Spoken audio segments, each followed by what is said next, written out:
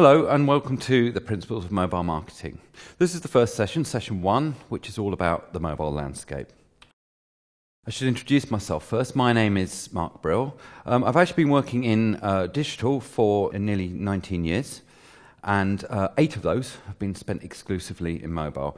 And these days, I work primarily on mobile strategy, so I work with both brands and agencies, and I provide consultancy, really helping them to understand mobile marketing and what they can do with it. Uh, I also le- lecture regularly in mobile marketing uh, to a number of organisations, and outside of that, I also chair the Direct Marketing Association's Mobile Council.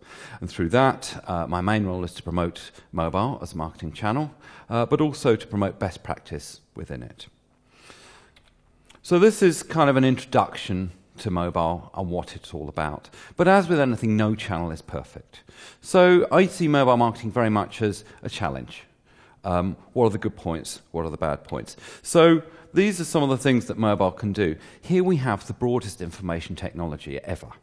And when we talk about the landscape in a minute, you'll see that over 4 billion people in the world have a mobile device. So almost anyone can access things. And the other thing about the mobile device is it's always there, always on.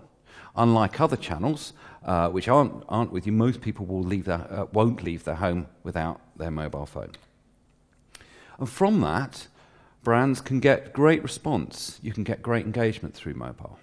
And increasingly, as we see the devices develop, we can deliver some very exciting interactive content. But here's the downside we're dealing with lots of standards, lots of technologies, and lots of channels. And it's a very fast changing environment. It's highly personal. This is the device we don't share. And if you're going to work in that channel, you need to understand those needs.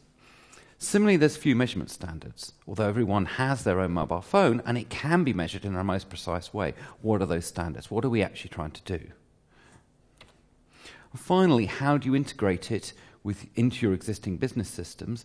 And what are the regulatory problems? Now, for some of you, regulation might not be the first thing that you think about, but for many businesses, for many organizations, they worry about how they're going to come into contact with the regulators and the problems that that might have. So, what actually is mobile marketing? How do we define it? I think when most people think about mobile marketing, they probably think of this. It's all about response and acquisition. And certainly when uh, uh, mobile marketing came through in the SMS format a few years ago, this is what people thought about sending messages to people's phones to get them to do stuff, or including it in an advert to get response. And that is an important part of mobile. But it also includes this, which is service and CRM. So it's about keeping your customers interested, retaining them, gaining loyalty, and getting uplift. And in actual fact, for most brands, this area, the, the service and the CRM, is the most important thing, and that is often where they start. In terms of the marketing activity that I do in mobile, I would guess that about 75% of it comes under the, the customer service side of things, and the acquisition response is only a small part of it. The other thing that's really important with mobile is the mobile commerce, it's the transaction side. Now, it wasn't that long ago, five or six years ago, when we were talking about the possibility of transaction, that people would start to be doing things on their mobile phone. But right now, that is a reality. We're seeing a very rapid growth of mobile transaction. People are buying things on their phone, and they're doing it through a number of different means.